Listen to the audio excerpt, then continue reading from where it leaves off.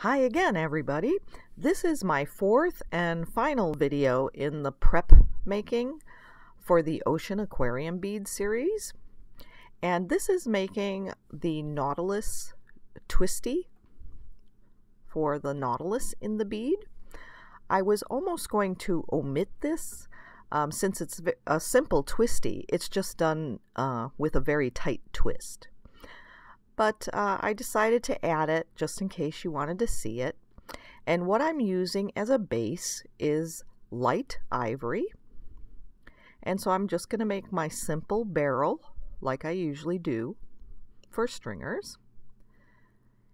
And I am going to be striping this with a stringer which is right there uh, to the right of my bench. I just picked it up. And this stringer is a brown. It's just a medium brown color, and I encased it with uh, Sangre Red from CIM. So it's an Effetre brown, and I think it's red brown with Sangre over it, and pulled out into about a one millimeter stringer.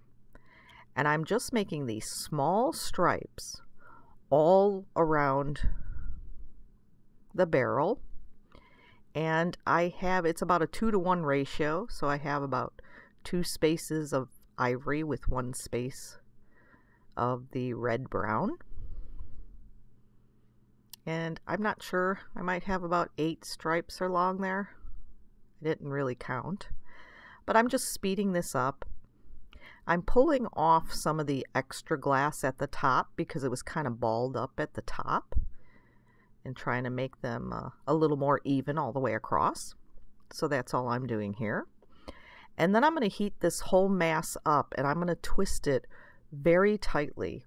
And how I do that usually is I keep my mass of glass while I'm twisting it right above the flame and sometimes I dip it down into the flame if it's starting to get too stiff but I keep it right by the flame to keep it supple so that I can twist it and pull it off very skinny and very tight of a twist. And so I'm slowed down again.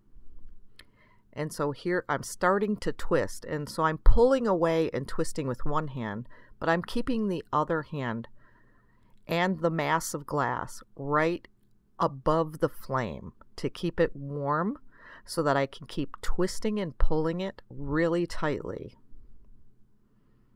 as it comes off. And it almost looks like little striped waves there, but all of those waves that you see coming off are actually like five or six stripes in between each wave. It's very tight stringer. Very tight twist in there. And so basically that's all you need for the little Nautilus. So I use this and I use um, the pink. You could use white also for the little tentacles that come out of the Nautilus. And so I'm just pulling out a little extra handle of ivory there.